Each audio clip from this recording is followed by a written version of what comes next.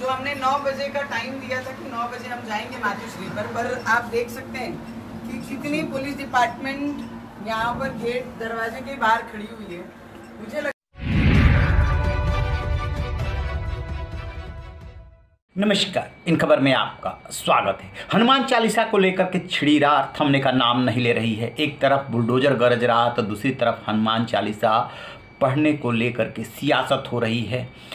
अमरावती से जो निर्दलीय सांसद हैं नवनीत राणा, उन्होंने पहले से ऐलान कर रखा था कि मातोश्री, यानी कि मुख्यमंत्री उद्धव ठाकरे के मुंबई स्थित आवास के बाहर वो आज हनुमान चालीसा का पाठ करेंगे। उनके साथ उनके पति रवि राणा भी होंगे। इतनी खबर मिली कि मुंबई पुलिस एक्टिव हुई और कल ही उनके घर से बाहर निकलने पर प्रतिबंध लगा दिया गया। इसके बावजूद उन्होंने ऐलान जारी रखा था और अब पुलिस शिव सैनिक पहुँच गए, उनके आवास के बाहर पहुँच गए घर में और देखिए कैसे उनको घेर लिया है और नहीं निकलने दिया जा रहा।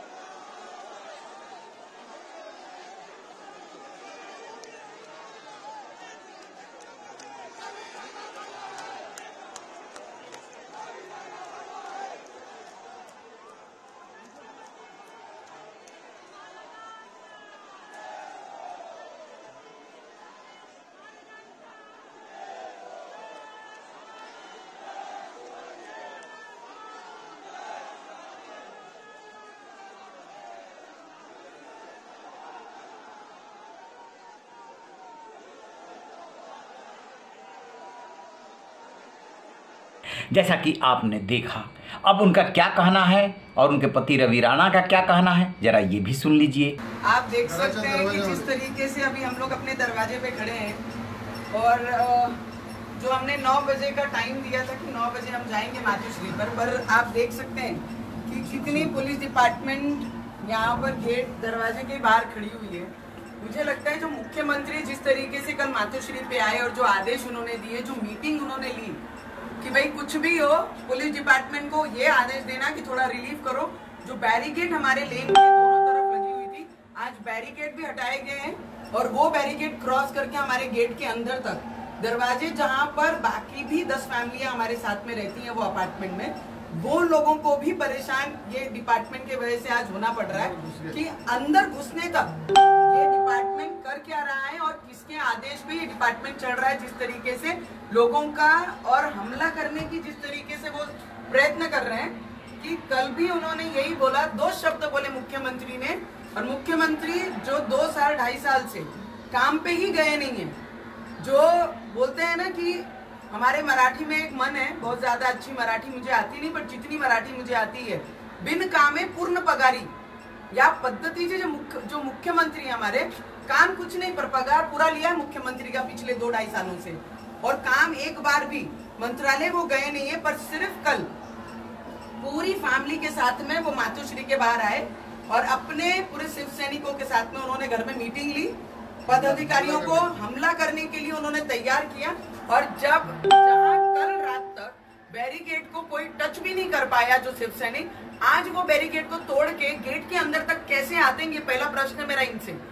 या तो डिपार्टमेंट उनके प्रेशर में काम कर रही है, या डिपार्टमेंट उनके अनुसार काम कर रही है। दोनों में से ये एक चीज़ है। अगर इतनी खुलेआम अगर गुंडागर्दी शिवसेना में कर रही है, और मैं अभी भी बोल रही हूँ कि मैं नीचे भी जाऊँगी और गेट के बाहर भी जाऊँगी, और मातोश्री के बाहर हम हनुमान चालीसा का पाठन भी करेंगे, उसमें कोई भी हमें रोक नहीं सकता है। तुम्हारे पास ज़रूर प्रशासन और सरकार होगी तुम्हारी पर ताकत तो हमको भी हमारे लोगों ने दी है। तुम तुम्हारे पीढ़ी के भरोसे खा रहे हो हम अपने स्वतः हमारा भविष्य हमने निर्माण करके यहाँ पर आए और बजरंग बली की ताकत संकट मोचन की ताकत हमारे साथ है। तो कोई भी हमारा बाल भी बाका नहीं कर सकता ये डिपार्टमेंट को भी बोलना है और उद्धव ठाकरे को भी बोलना है।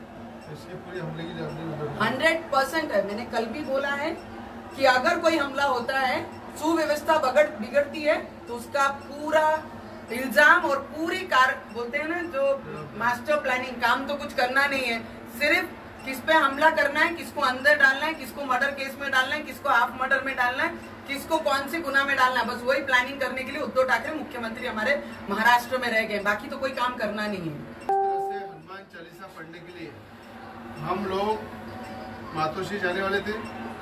अभी घर से बाहर निकल के हम शांत पूर्वक हनुमान चालीसा का पाठ पढ़ के आज शनिवार है और शनिवार के माध्यम से आज हनुमान जी का दिन है बजरंगबली का दिन आहे मारुती रायांचा दिवस आहे आणि या दिवशी खऱ्या अर्थानं इस इस वजह से हम लोग जब निकल रहे हैं तो हमको यहाँ पे रोका जा रहा है और यहाँ पे रोक के पूरी पुलिस हमारे दरवाजे पे खड़ी है बाहर निकलने नहीं दे रही है और मुझे लगता है हनुमान चालीसा पढ़ना और बजरंग बली का श्री राम भगवंता का नाम लेने के लिए अगर यहाँ पे उद्धव ठाकरे जी की परमिशन लेना पड़ता, यहाँ पे अगर हमको जाने के लिए उद्धव ठाकरे जी के माध्यम से रोका जाता है तो मुझे लगता है महाराष्ट्र की कायदा सुव्यवस्था ये राज्य के मुख्यमंत्री बिगाड़ रहे और इन्होंने जो गुंडे हमारे घर पे हमला के लिए भेजे, जो बाड़ा साहब के सैनिक नहीं है, बाड़ा साहब के सैनिक अगर रहते थे तो मेरे को मालूम है वो हनुमान चालीसा हमारे साथ पढ़ते थे।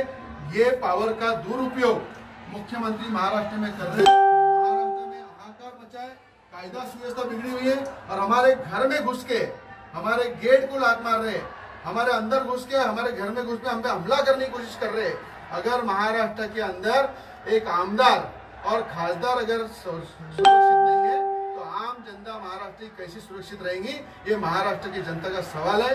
बैजंग बोली हमारे शरीर में, हमारे खून में, श्री राम भगवंता के विचार हमारे शरीर में, इसे कोई खत्म नहीं कर सकता, इसे कोई रोक नहीं सकता।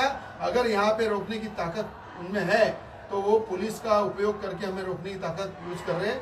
जैसा कि आपने सुना, वो मुख्यमंत्री उद्धव ठाकरे के ऊपर आरोप लगा रही हैं करते धरते कुछ नहीं है।